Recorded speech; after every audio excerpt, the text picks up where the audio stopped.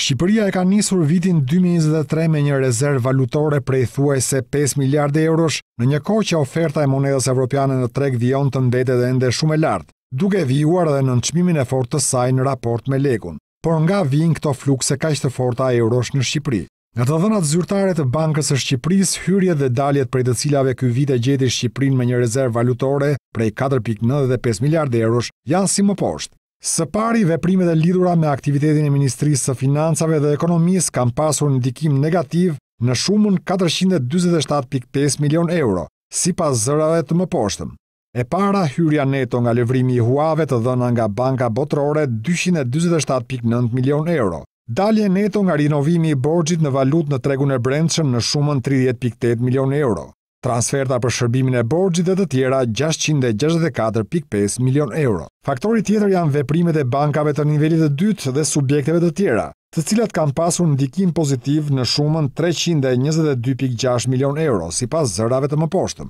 Derdhje nga bankat e nivelit të dytë në llogarinë e tyre pranë Bankës së Shqipërisë për plotësimin e rezervës së detyrueshme, administrimin e ekspozimeve në bilanc etj, tre pikë tre miliardë euro, Transferta nga bankat e nivelit të dytë 3 miliardë euro, dalje neto për llogari të subjekteve të tjera ASD apo të tjera 6.49 milion euro. Faktori tjetër janë veprimet e Bankës së Shqipërisë, të cilat kanë pasur ndikim pozitiv në shumën 210.6 milion euro, sipas zërave të mëposhtëm. Blerje neto të valutës nga bankat e nivelit të dytë dhe institucione të tjera 202.2 milionë euro, nga bankat e nivelit të dytë 131.5 milionë euro, nga Ministria e Financave dhe Ekonomisë 60.6 milionë euro, nga institucionet e tjera 10.08 milionë euro, hyrje nga interesa kupona e tjerë të krijuara nga investimi i rezervës valutore llogariten në 18.7 milionë euro dhe transferta 10.3 milionë euro. Dhe së fundi, faktorët e tregut kanë pasur ndikim negativ në shumën njëqind e tre pikë tetë milionë euro,